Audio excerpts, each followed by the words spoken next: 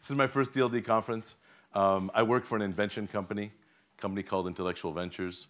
Hopefully they'll find my deck soon. Um, and I'm going to talk to you about a concept that we call innovation megaprojects. Um, innovation megaprojects is all about thinking um, how to turn a city into an innovation platform. And how do you turn that platform into something that provides a long-term uh, benefit for that city, its residents, in, in the way they play, they work, uh, they recreate, uh, in the way they live. And ta-da! All right. Thank you. So we came up with this idea um, um, in the course of our normal business. We have been furthering the, the cause, if you will, of an invention uh, ecosystem for the last 12 years of this company existence. We've done it by bringing together uh, actors, participants around what we call an invention watering hole. And what this means is we've brought together academics, inventors, investors, small and large business, brought them together in a place that actually talks about invention, creates invention, creates, has the right conditions uh, to create value out of invention. Um, it's, a, it's, a, it's a very virtuous watering hole. People keep coming back to it over and over again because the right conditions exist. And those conditions primarily are one, to actually invent, to come up with something new, to come up with something courageous, to disrupt uh, in a positive way, but also to make uh, economic progress for themselves. This concept of an invention watering hole has brought us to what we're calling an innovation watering hole, and we believe that it has applicability toward the future city, toward a, a series of mega projects or even a single mega project. So we thought about how to best um, explain this concept, and the best way I can explain it is by showing you a schematic of what some of you may recognize as the Marina Bay Sands project in Singapore. How many of you been to Singapore and know the project? Great, great. So you must remember the amazing vistas from the observation deck, the, the beautiful hotel, the retail facilities, the restaurants. It's an amazing project. I mean, really, truly is. And fundamentally, it took the government of Singapore, like it does very, very well, to actually orchestrate the building of this, I think, a shining star of their city. Um, the Marina Bay Sands is about a $6 billion project. It is comprised of a lot of the traditional elements that you would expect in a mega project of this size and stature. Uh, brings together tens of thousands of contractors, developers, investors, the government itself put in a tremendous amount of money um, and uh, a lot of energy to making this happen. And the critical piece here is the government.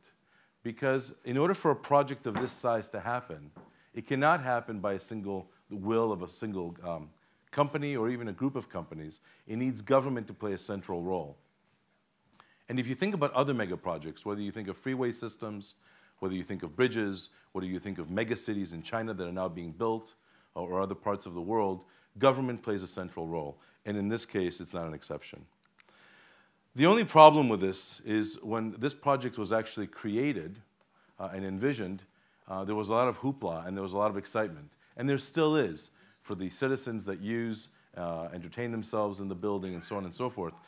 But if you think about it, the innovation in that project ended the day it was finished.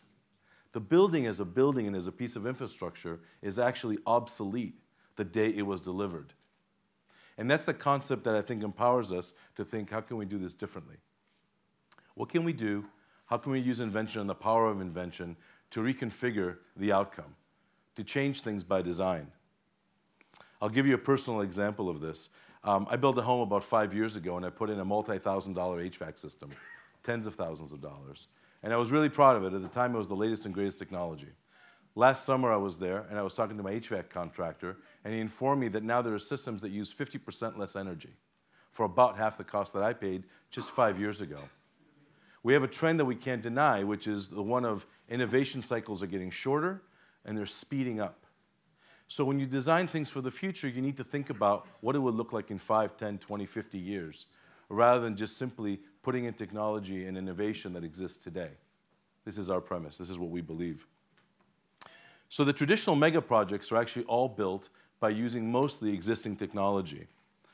The innovation mega project is a little bit different. It actually uses the large economic stimulus of a mega project, in this case, $6 billion in the case of the, the Sands project, and actually uses that as an impetus and, a, and an engine for innovation, for true innovation. So what you end up with is not a rip and replace problem at the end. It's actually something that's more like a plug and play problem or an opportunity that basically breeds opportunity into the future.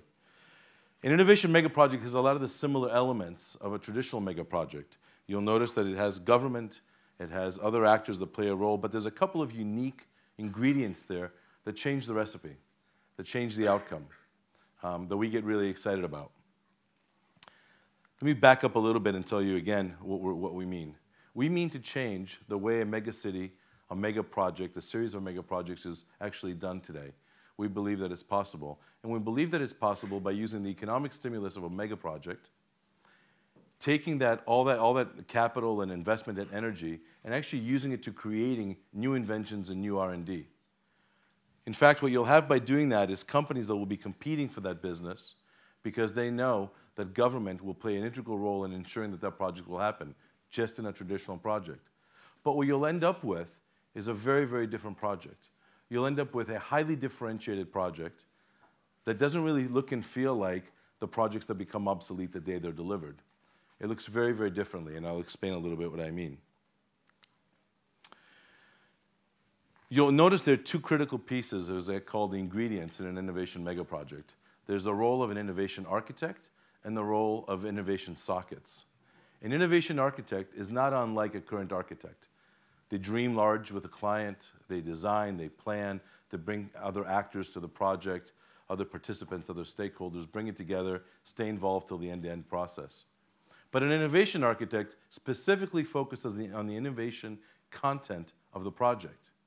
They don't think of, of, themselves as trying to integrate and design for what currently exists, but they think about the opportunities that present themselves in the construct of this project, and they think about the new things that will be as a result of this effort.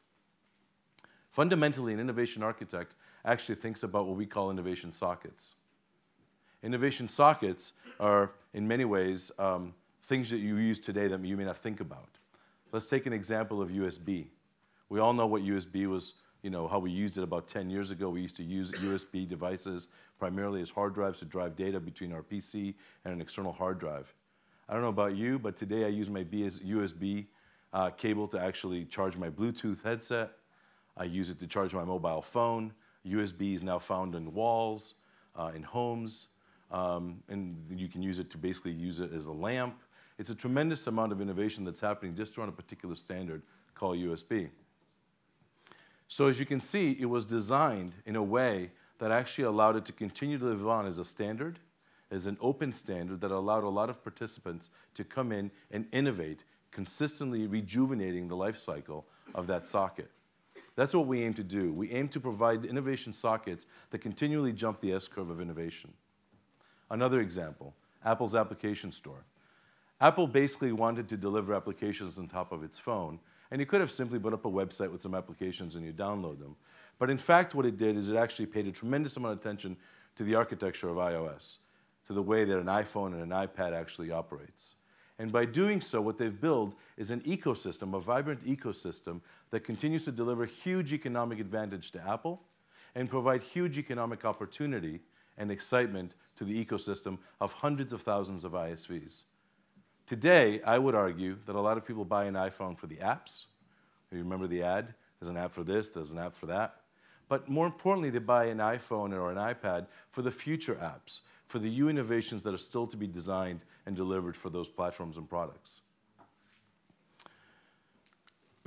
so here's fundamentally how it works. Once an innovation architect builds, designs, delivers open, comprehensive, specific innovation sockets, it attracts innovation companies, just like the iPhone platform attracts a tremendous amount of ISVs. They come together and they create inventions for that particular city or that particular mega project. Those inventions, in turn, have already made place to land. In other words, there's a lot of business people in the room. You won't necessarily make R&D investments unless you understand what your payback is, and hopefully there'll be low risk. A government in an innovation mega project ensures that projects will be delivered. They provide the right kind of conditions along with their private sector partners, their, the academia and others that are involved to make sure that it is delivered on time, hopefully on time, under budget, hopefully under budget, but more importantly, it does happen more often than not. So when you combine a series of sockets, you actually provide an ecosystem for a virtuous ecosystem that is self-sustaining. Additional products come online, people know that there's a market, companies develop around that, they invest, they continue to invest, and you have, again, plug and play. You have an old system, you unplug it, you plug in a new one. The city is designed as a platform. Multiple sockets turn into a platform, a platform turns into a layer of innovation where the city actually benefits, benefits economically. So a couple of examples of how it could work, and these are visions that we've actually designed that we believe are germane to this concept, but more importantly are needed in terms of solving the grand challenges that we all think about. So we have a concept called MoveNet, which is all about personal mobility. We have plug and play construction, which is all about modularizing and, and, uh, uh and, and, opening up the capabilities uh, of moving normally fixed items. And we think about smart aging. When you think about the elderly and you think about the aging trends of the world, those are both big challenges and huge economic opportunities um, for the world. So to wrap up, let's talk about what it is again. An innovation architect partners with government, partners with the traditional partners, but tries to build a city, tries to build a mega project that has the future in mind. It is designed in.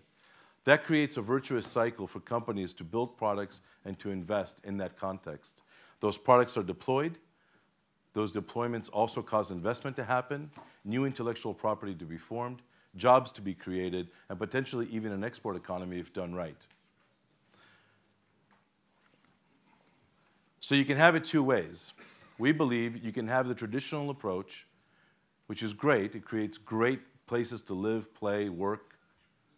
Or you can actually take the impetus and the economic stimulus of a city, of a mega project, and turn it into something that is far more sustainable, something that will provide benefits for decades to come, something that will provide not just the traditional um, things that people look for in a, in a, great place to live and work, um, but something that would actually provide economic stimulus to keep everyone working uh, and working towards something new every day. Today, we're working with several governments around the world to try to implement these projects. We'll keep you posted. Thank you.